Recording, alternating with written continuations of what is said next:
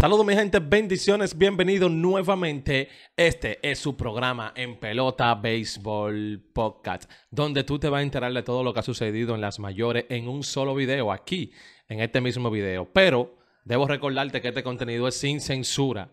Aquí se habla las cosas como son. Vamos a leer la palabra de Dios ahora mismo. Bendito el hombre que confía en el Señor y pone su confianza en Él. Será como un árbol plantado junto al agua que extiende sus raíces hacia la corriente. No teme que llegue el calor y sus hojas están siempre verdes. En época de sequía no se angustia y nunca deja de dar fruto. Jeremías 17, 7, 8. Una palabra de bendición, señores, realmente.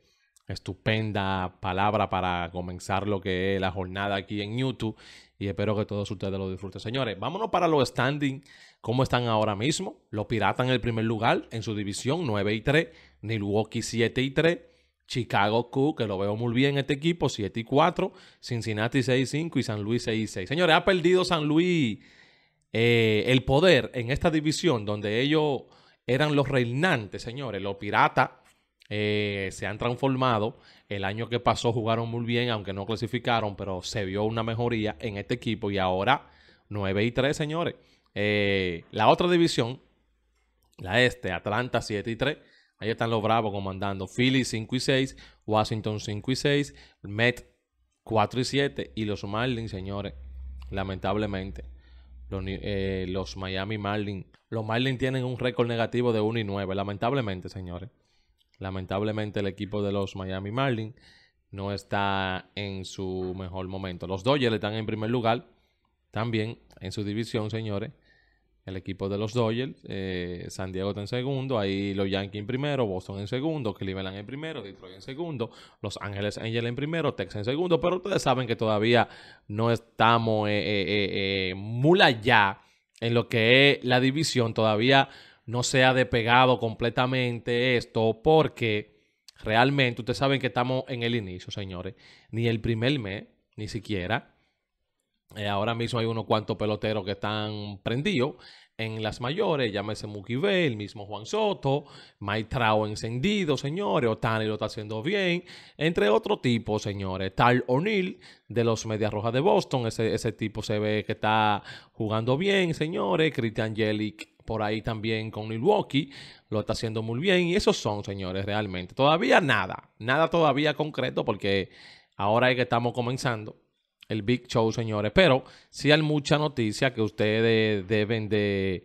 saber, señores, realmente. Mi gente, los New York Yankees este gran inicio. Óyeme, han igualado la marca del gran inicio del 2003. O sea, ya se está viendo lo de, lo de Juan Soto, señores. Ya estamos notando la presencia de Soto en los mulos del front. Desde el 2003, ellos no comenzaban así. O sea, yo creo que, que Soto era la pieza que le faltaba a este rompecabezas. Los Yankees acaban de tener el mejor comienzo desde el 2003. El equipo ganó su cuarto partido consecutivo, mejoró su récord a 10 y 2. Oigan bien, 10 y 2, señores. Carlos Rondón ha mejorado. Todo el mundo, señores, se ve aquí en una vibra positiva. Alex Perdugo también bateando bien. Y Iron Bond dice, no puede sacarlo del tablero y son tan importantes ahora como en cualquier otro momento dijo Iron Bond. Cada vez que puedes jugar una serie de juegos como este, seguro que te registra. Lo, acepta, lo aceptaría. Dijo él ahí. Saben que él siempre está eh, activo. Uno que sí salir del equipo de los Yankees, señores. Lamentablemente el caso. Es Gleyber Torres. Parece que tiene los días contados en los mulos del Bronx, señores. No, no le veo mucha vida a Gleyber como primer bate. Yo creo que Iron Bond debiera moverlo de de, lugar en la alineación a ver si él recupera ese bateo. Pienso yo, como primer bate no, que use otro primer bate y a él lo ponga de sexto o séptimo bate a ver si se le baja un poco la presión, señores. Desde, hace mucho tiempo se ha hablado de esto, de un posible escenario, de la salida de Glelbel. Realmente los bombarderos estuvieron cerca de cambiarlo en, temporada muerta, no se, no se ha podido. Realmente los Yankees no le van a dar una extensión de contrato a Gleyber. Realmente todavía los Yankees confían en Oswald Peraza. Otro dato también, señores. Y puede ser una, buena pieza de cambio. Glelbe y su valor en el mercado, señores. Realmente. Él puede firmar una buena detención de contrato con cualquier otro equipo.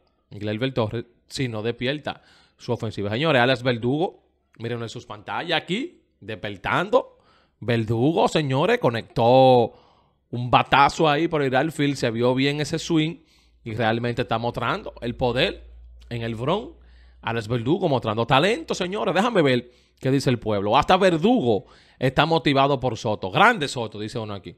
Soto motivado a, todo el mundo en los Yankees. Hasta Giancarlo Estanto se ve con una sonrisa en su rostro. Un tipo que casi no se ríe. Déjame ver qué sigue diciendo el pueblo. Aquí hay uno que dice lo siguiente. El verdugo de los Yankees. Que hay otro que dice México bello, epa. Y Venezuela baila joropo. Hoy con lo que no te gusta estudiar. Nadie opina. Bueno, son los comentarios. Que uno que dice Soto le ha dado vida al equipo. El que diga lo contrario no es un domi. Y es verdad que Soto le ha dado vida al equipo de los mulos del Bron. Pero claro que sí, señores. Soto ha cambiado este equipo. Diedo. Llegó Soto y la vaina está saliendo bien. Ahí es, señores. Mookie Betts. Mookie Betts. Oigan este dato de Mookie. Qué tremendo pelotero es Mookie Betts, señores. Mira, de otra galaxia, Mookie Betts. En los últimos 162 juegos Muki batea 314, 43 honrones, 117 impulsadas, 140 anotadas, 1012 de OPS. Este sí se está ganando el dinero. Este sí está dejando ver el gran contrato que tiene. Mookie Betts, un tipo lleno de talento. Un tipo, señores, lleno de, de herramientas en las mayores. Realmente, Mookie, un tipo que es muy valioso para la alineación, señores de este equipo de los Doyle. Por eso ellos pagaron todo ese dinero por él. Y lamentablemente, señor, el equipo de Boston, lamentablemente, eh, se quedó sin esta estrella, señores. ¿eh? Un tipo que ha ganado numerosos premios, muchos reconocimientos a lo largo de su carrera, guante de oro, MVP, realmente un tipo, señores, con múltiples temporadas de alto nivel. Ellos lo dejaron y ahora brilla en los Ángeles Doyle y ahora está jugando en el campo corto. O sea, Mookie Betts es el mejor campo corto de la Grande Liga. Porque ya hay el campo corto. Es Mookie el mejor campo corto. En mi opinión personal, ahora mismo ella está entre los mejores. Y esa es la posición de él ya, señores, realmente. Un jugador sobresaliente que ha dejado una marca eh, realmente indeble en, el béisbol profesional. Talento, versatilidad, liderazgo. Esto lo convierte a él en un jugador muy emocionante. Déjame ver qué, qué dice el pueblo latino de Mookie. ¿Se atreven ustedes? A tirar allá abajo a Muca, que es uno que dice el MVP al que iban el año pasado los saltianos. Los altianos y en altita los Ven acá, pues están metidos en pelota los saltianos.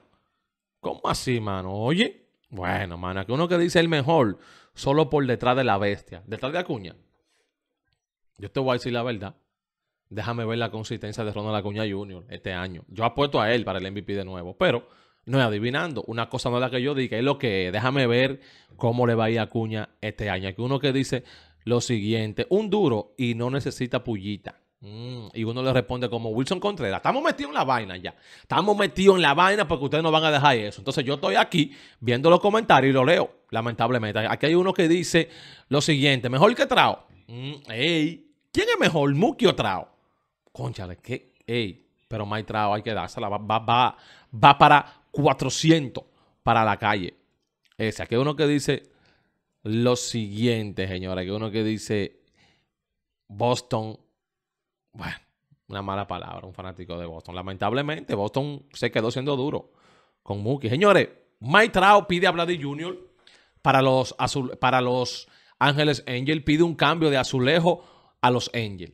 Eh, Mike Trout quiere un plácata, un tipo como Brady Jr. ahí bateando adelante o detrás de él que pueda ayudarlo a él, señores. ¿eh? Y el equipo de Los Ángeles Angels va a enviar, o sea, podría enviar un paquete por vía cambio a los azulejos por Vladimir Guerrero Jr., señores. La ofensiva de Brady sigue sin explotar este año, para que ustedes sepan, sigue por debajo Brady Jr. en esta primera semana de temporada. Y eso que se ha hecho una declaración reciente de múltiples rumores de una posible salida del equipo canadiense, señores. Todavía le queda una temporada más de arbitraje, realmente, pero este equipo quiere como buscar nuevas piezas.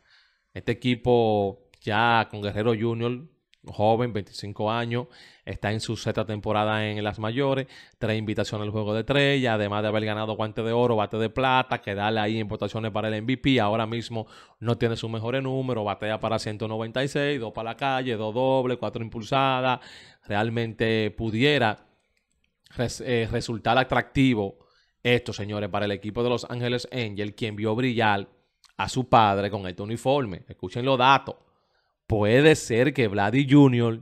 llegue a Los Ángeles Angels, donde jugó su padre por muchos años, donde se puso su padre esa misma chaqueta y gorra para entrar al Salón de la Fama.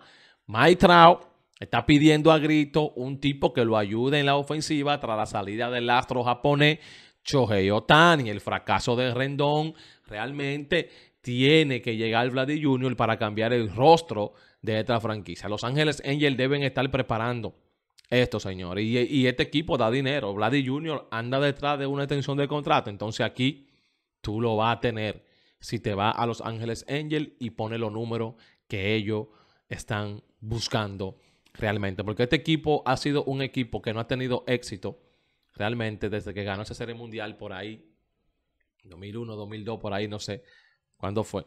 En el 2002, para ser exacto, señores, ellos están buscando una, una serie mundial y llegar lejos como equipo, señor. Hablando de Mike Trout, está bien encendido, Mike. Está modo MVP, señores.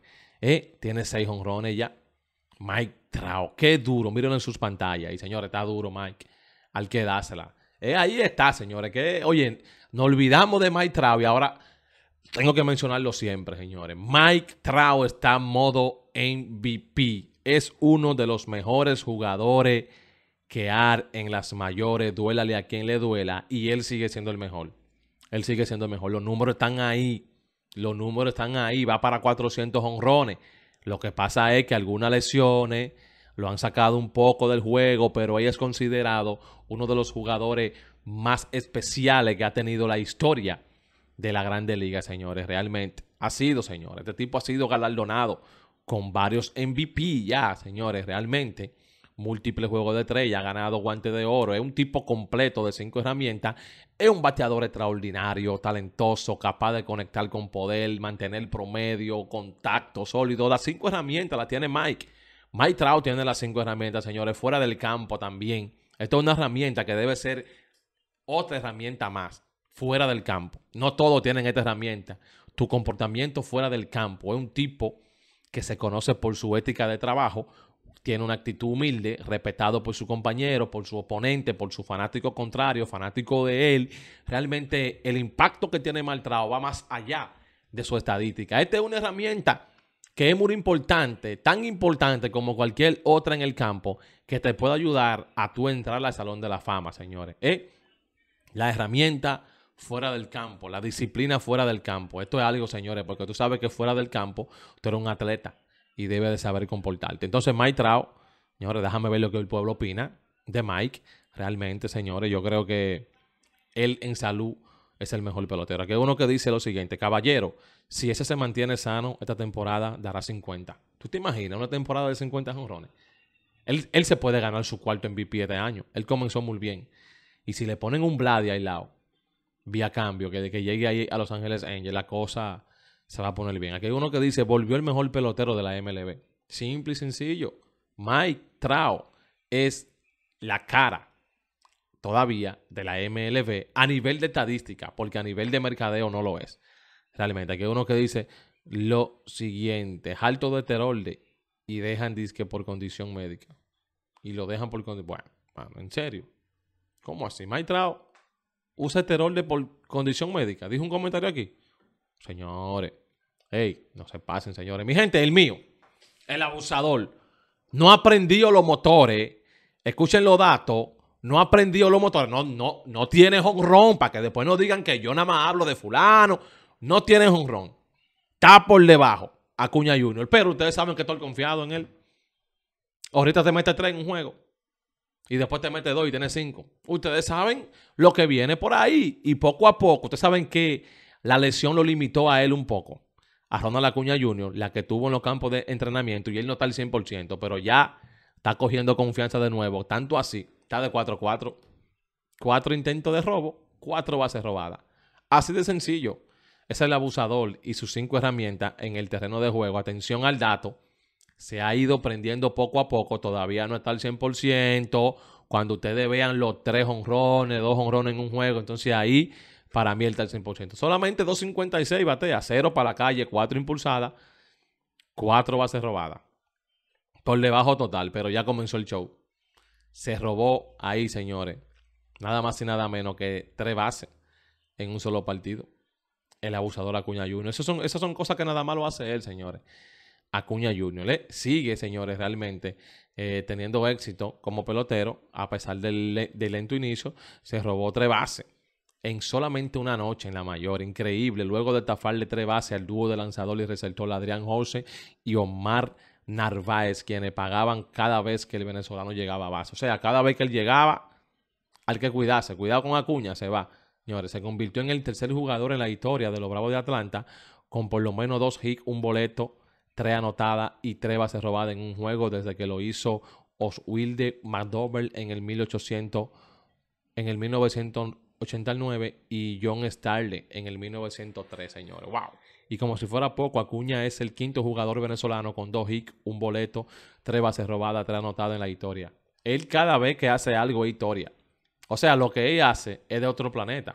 Por eso siempre es noticia Ronald Acuña Jr. y hay que hablar de él porque el tipo la tiene prendida como es. Déjame ver qué dice el pueblo de lo que el abusador está haciendo. De 4-4 a nivel de base robada. Aquí hay uno que dice lo siguiente. Venezuela se está perdiendo de una medalla de oro en atletismo.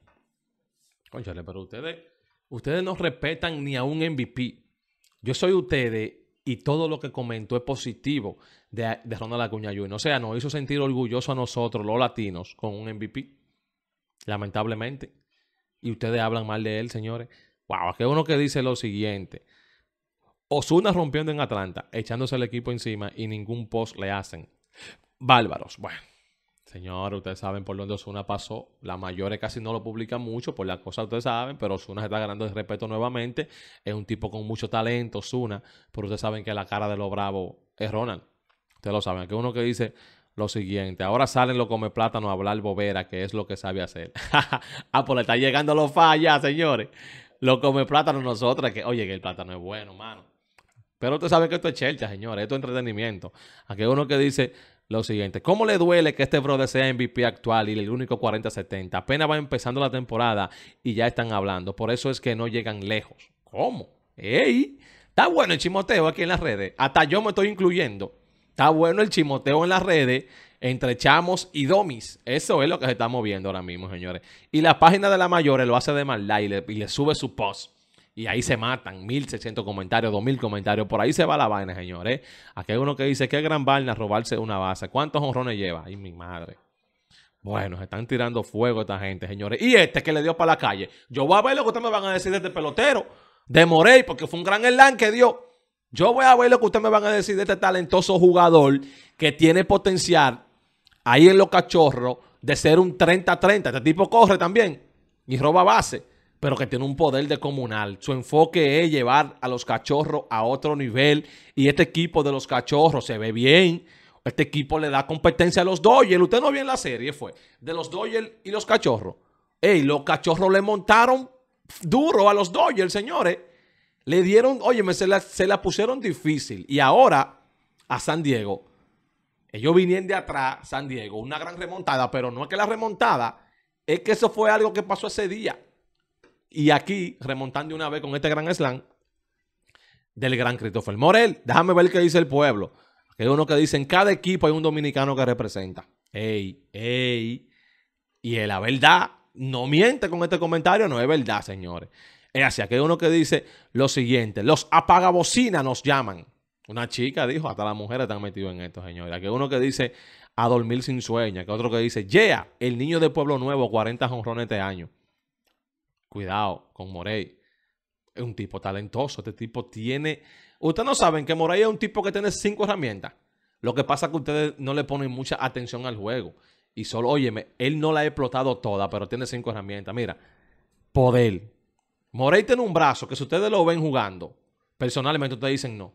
Ese pana tiene un brazo de la tercera base, tiene una defensa buena, es rápido, tiene contacto, la tiene y juega el béisbol, ya ustedes saben. Y tiene algo bueno también, que es de lo que le hablé, fuera del terreno, Morey es un líder, es un líder. Yo creo que los cachorros de Chicago tienen que asegurarse con Christopher Morel.